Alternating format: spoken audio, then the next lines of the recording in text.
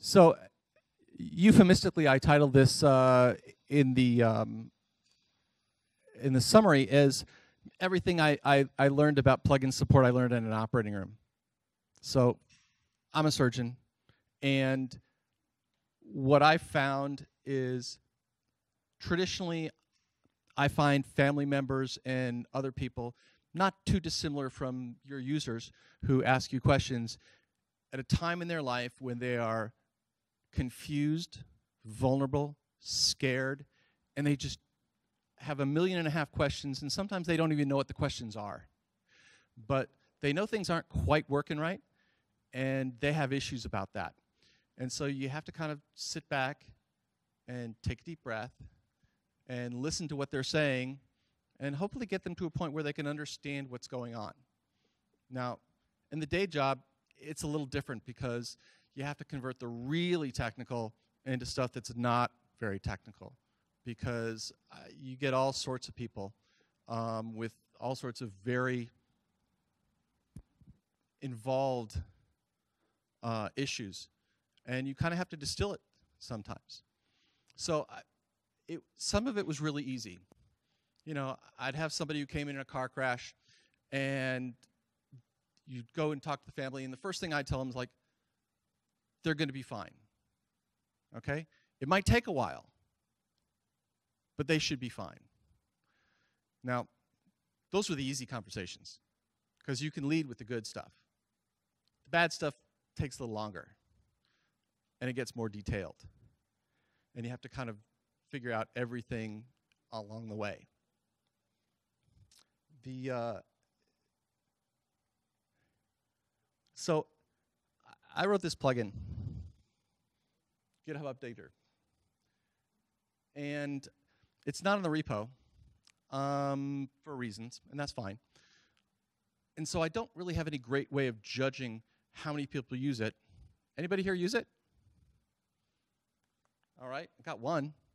Um, what it does is it basically, uh, if you have plugins that are outside the repository, either on GitHub or Bitbucket or GitLab, it will allow them to update through the admin dashboard, just like any plugin in the repo does.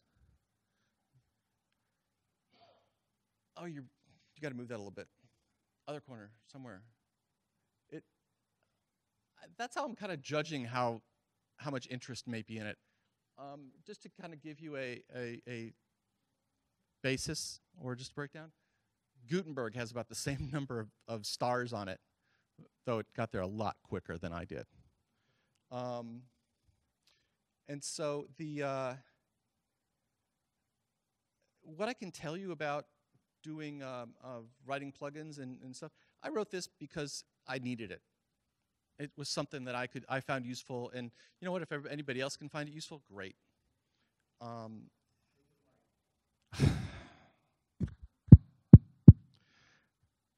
If anybody else can find it useful, great. Oh, by the way, hi everybody in the other area. The um, I keep changing and iterating and, and doing all sorts of things with this, and maybe that's good, and maybe that's not so good because you know you can have issues and problems. And one of the few things I've I've found is I really keep doing that, Jonathan. I, you know I really hate white screening people, but you get to the point where it's like we talked about imposter syndrome in the last thing. It's like, oh my God, can I really pull this off? And the answer, you know, as as a surgeon, I will tell you one of the euphemisms we speak of is is sometimes wrong, never in doubt. Because you know, you're the captain of the ship in the operating room, and people expect you to make decisions. Now, you make decisions; they're not always right, um, but you make them, and and you live with them, and your patients live with them. Um, the I, I, don't really have a any sort of classic computer science education. At least nothing you would say is something like that. Um, and so every time I get to the point where I'm about ready to release something, I probably leave it in develop branch for a lot longer than it needs to be. Um, just because I'm worried about doing something to someone's site. I mean, everybody else, you know, most people out here, you guys make a living doing this, and you know, I don't want to screw with that. Uh, I really don't want to interrupt it. Uh, that being said, uh, you know, in a hospital, in an operating room, I, have never had an imposter syndrome. it's like you know you get to the point where you everybody has their own little niche and they know what they're doing and they know where they are. You know, you get to a place, you know that. Everybody's an expert in their own little area. And there are things that you will speak to with authority at the drop of a hat. And nobody will question you. Well, they may not question you just because you're speaking with authority, and everybody kind of tends to, to look at that as you know what you're talking about. It's also helpful if you actually do. But the uh, it, when it comes to code, it's a lot different sometimes. So I always worry about those things. And so it, maybe it's a sense of caution, but I tend not to release it as often as I probably should. You know, there's a couple of changes and fixes and things that I've done. I mean, just recently I, I converted the little small amount of JavaScript that I had into it from using jQuery to using vanilla JavaScript because there was one time when the jQuery library didn't load in trunk. And I'm like, wait, what happened to the way the settings page looks? It's like screwed up. And so it's, I don't know JavaScript. Took me all day to Google out and figure out how to change things, but you know, you change them one thing at a time and eventually you figure it out. Google is your friend. The um, I had a heavy dose of imposter syndrome hit recently in um, in, in, tr- in uh, actually wasn't even trunk, it was in uh, the .org repository. One of the things I have in the plugin is that if your plugin also resides in .org, it will preferentially take the .org versioning and update it against .org and not update it against GitHub or Bitbucket or etc. And they recently changed the way the plugins API returned the value of is your plugin in the repo. And it used to print out this nice long uh, array back with all the data for your plugin. And if it wasn't in the repo, it just gave you a null. And so I was checking against the null. And recently they fixed it, said, you know, this isn't very, this isn't what we should present. We should present an actual error. So they changed it to present an actual error. Well, the problem is I was testing against the null. And so because it had data that came back, or more specifically, because the way I wrote the code, it wasn't returning, it wasn't returning a null variable or empty. It saw every single plugin as being in .org. Consequently, if it didn't live in .org, it wasn't going to get updated, including my updater. So all of a sudden I'm thinking, oh my God, what am I going to do? And so I wrote a bunch of posts and I put an issue up on the page and I said, okay, because of this issue, I need you to, everybody who's using it, I'm going to need you to update, you know, in one of these methods. And, and fortunately, there are methods that would update it in place. It wasn't just download it and reinstall it and stuff like that. Um, but I did something better. I, I got on Slack and I talked to uh, Dion Hulse, who's the uh, component maintainer for the upgrader uh, and installer. And I said, hey, you know, I know you changed this, and I appreciate it and understand it, but it kind of broke one of my it, one of my issues. And you know, even though my plugin isn't on the repo, I do test against it. And he was wonderful. He backed out the changes and said, you know, I can just make a 1.2 version of the API. And so now everything works again. And I was really happy. So I don't know if anybody has been following 4.9.3 from WordPress, they had a very similar issue where all of a sudden automatic updating was not functioning. Now, fortunately, that didn't really go out to that many. It didn't go to another any other branches other than trunk and 4.9.3, and it um, it showed up. I blame myself for it because it showed up in my logs, and I kept seeing this. I'm like, what's going on? Because always, if you're, debug- if you're testing, turn on all your debugging. Check your logs, see what your errors are, see where your errors are interacting with something else. Because there's lots of stuff you will see that the plugin still works. You just don't, you know, you just won't see it. You won't see the, the PHP notices that are there. You won't see the, in this case, a PHP fatal error that showed up in my logs.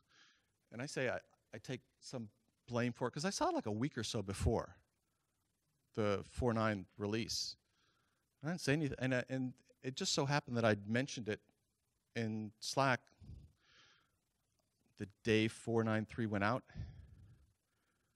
and it was like, oh my God, was the response. And needless to say, they kind of mitigated it pretty quickly and worked with hosting companies to fix and update where necessary. But to anybody who hasn't updated from 493 to 494, do it now. I'll give you some time. But anyway, as I said, I kind of blame myself, but it was because it was the same sort of issue that I had run into the week before. And I'm and I'm and I kept sweating about, well, how am I going to get everybody back onto onto to, onto the right version where they're getting updates? I mean, after all, this is an updating plugin. It's supposed to work that way. So always always turn on your debugging. Always check with your debugging. Always check your logs. It's very it's it's you I've had users tell me they, they see this in the air and like, I don't see it. Now, sometimes it's just their setup, sometimes I don't see it. Um, but it's always in there.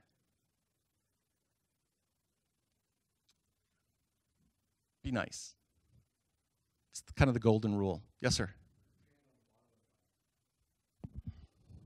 And? Okay, I'll just rest it on my chin. Why not? That works. Um, wow, I can hear it now. Um, be nice, as I started to say from the beginning in the in the in the uh, in the intro.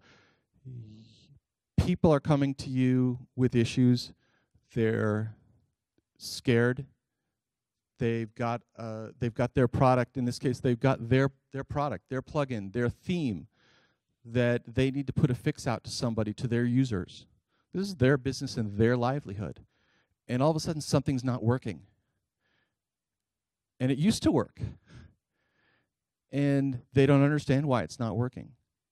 And so you just got to be nice. And you kind of, you know, as, as it says there, you know, treat everybody like you'd want to be treated. Who here's missed an airplane flight? You ever gone to the counter? You go to the connection thing, you know, where they, they, they reroute you and reschedule you in the in the uh, terminal. I remember a missing air flight airplane flight. I was in Dallas, and I'm like, my own fault. You know, I I just come back from a long trip. I plugged in. First time I got in decent Wi-Fi in like two weeks, so I started to do some stuff, and all of a sudden, wow, there's a gate change. There's not just a gate change. There's a terminal change. And I got on the tram going the wrong direction. Everybody been to Dallas Airport before? Yeah. This will really screw you up because all of a sudden there's you're not five minutes out, you're 25 minutes out. So I finally got to one of the um, ticket counters, and I'm just standing in line, and I'm I'm on my way home, so it was okay. And I'm listening to these people just yell and scream and be irate with these agents. And you know, the agents are, hey, this is their job. It's you know, it's customer support, right? They're trained. Be nice, be cordial, do what you can But let's face it, we've we've all gotten support requests, and when people are pissy, you're not going to get to them right away, because what do you need another dose of pissy for?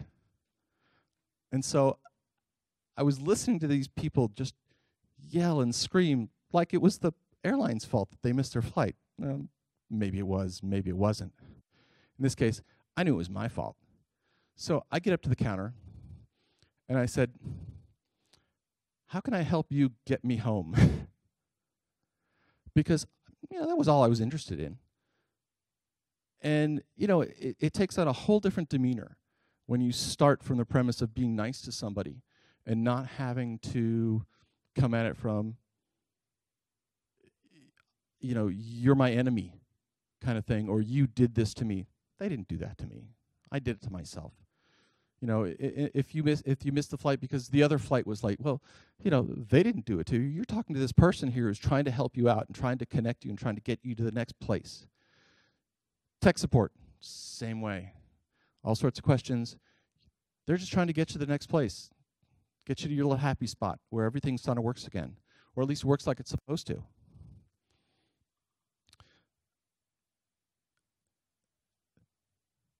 Be patient.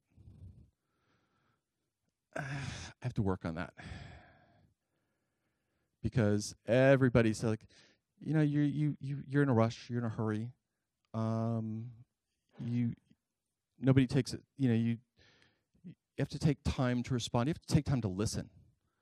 Uh, and sometimes I have to ask questions and get back to people.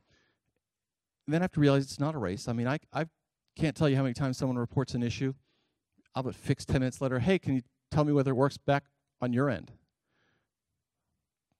Hour goes by, day goes by, week goes by. Okay, I, you know, I look at it as like, I finished it. I, it works on my end. I assume if it doesn't work on their end, I'll hear something eventually. Sometimes they get back and, you know, life happens, right? They're busy. Something else takes precedence. And they'll either get back to me or, you know, if it's a month later, I'll just, you know, I'll close out the tissue and say, let me know if it's not working. Um, but it's just it everybody's everybody has different priorities. So their priority in sending you the ticket may not be the same as yours in fixing it. Or after you fixed it, getting a response back. This is a global community and it's amazing to me how many people uh, you just can't interact with at the same time because you know they're asleep when you're awake and you're awake when they're asleep. So sometimes you get built in waiting uh, and so it's okay. The other thing I've learned is learn to say no. Uh, learning to say no, no is a lot harder to say than saying yes. Uh, and saying yes can cause all sorts of problems sometimes. We all talk about scope creep, and sometimes people have great ideas.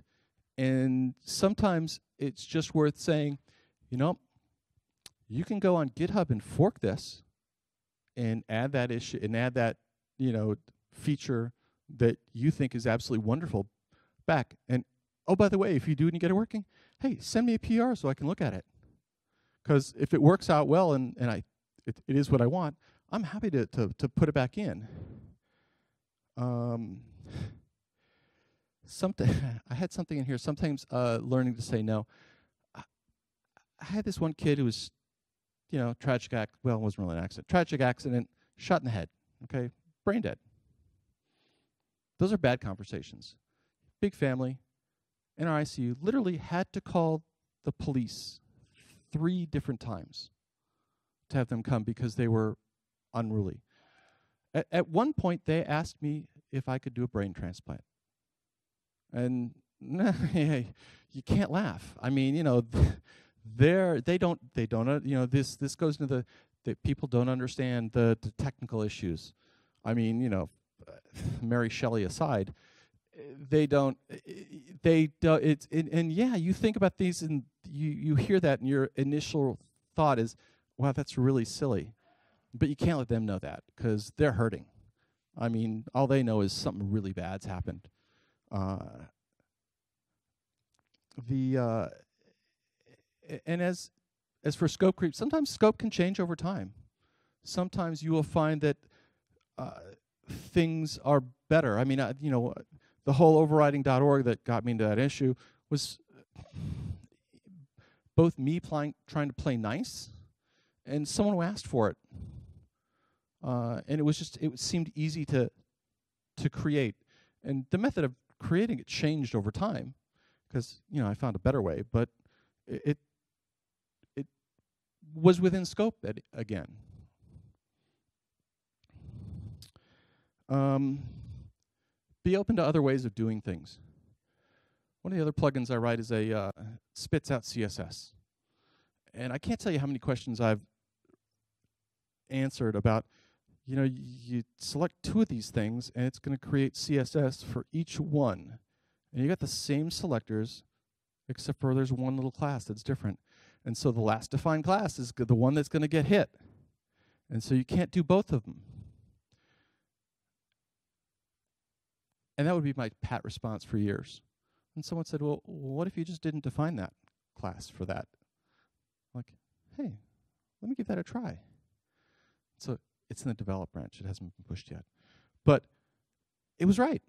I mean, it doesn't things don't quite line up right, but you know, you can now it's the category colors plugin for events calendar and you can now set a different you know, a different category that just has a background and a different category that just has a border. And if you have both those categories selected, wow, you get the border for one and the background for the other. Um, sometimes you don't understand anything, ask for help. It's a big community. Everybody, everybody's more than willing to help you. Uh, you just have to kind of wait for it because sometimes it'll be on their time, and and sometimes it's not. Uh, there are certain uh, features of the updater plugin that wouldn't have gotten developed uh, if I hadn't had help. Um, being able to work with Bitbucket Server, uh, being able to upgrade against a webhook, um, are all those issues. Uh, recently, I've got someone who's doing a PR for Gitea. Anybody ever heard of Gitea? It's another Git repository, something self-hosted. Uh, we're getting closer. So, the best thing you can do if you're doing support is build a community, because I don't do Facebook, I do Slack, do Twitter. One of the greatest things is when your users are helping each other. I can't tell you how you know you get the great warm feelies when you know I log into Slack and there's like three messages or five messages and it's two users who are basically helping each other with the problem and fixing it. The uh, so I'll really need to do that.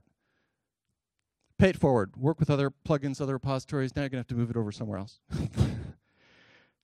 These are all on uh, WP Tally.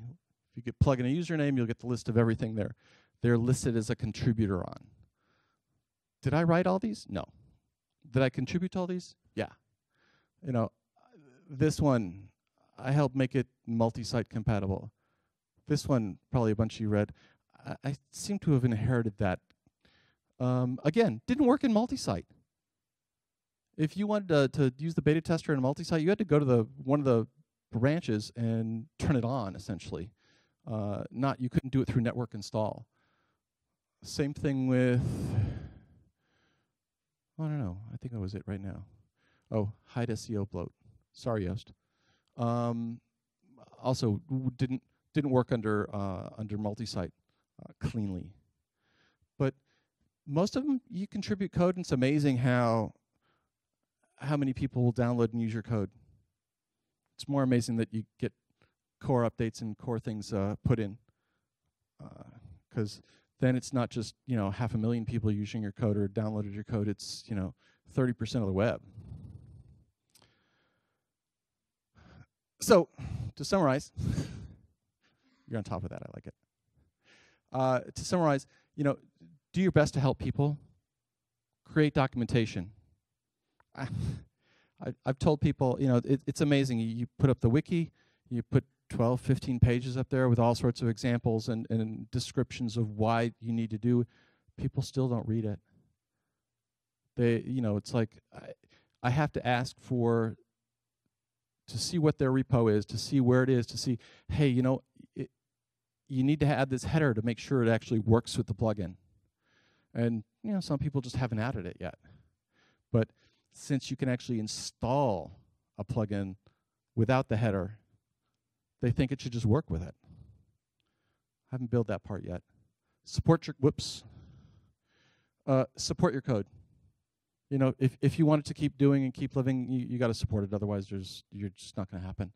Um, if you want people to contribute, make your code readable, document it well, always develop with debug true, and pay it forward. Contribute to everybody else. Uh, that's it for me. This is me.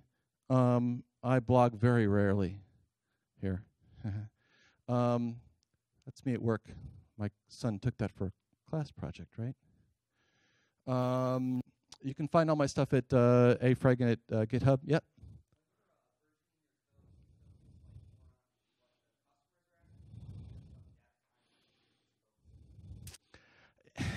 Some of it's what customers are asking for. Some of it's uh, if I think it's a if I've added a new feature, I'll buy a, a no, you know a minor release. If it's just a patch, it's you know a patch release. Um, if it's just fixing something, if it's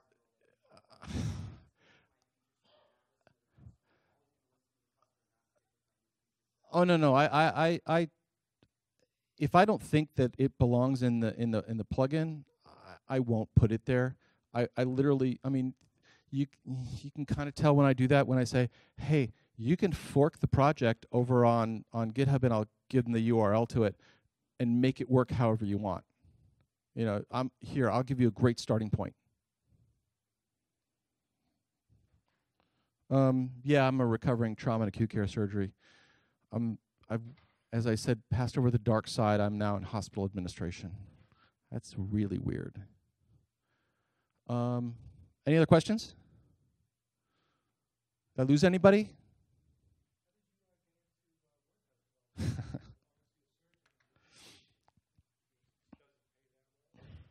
no, I you know it's it, it was you know it's really funny. Every once in a while, I will get a, a I've gotten a couple requests.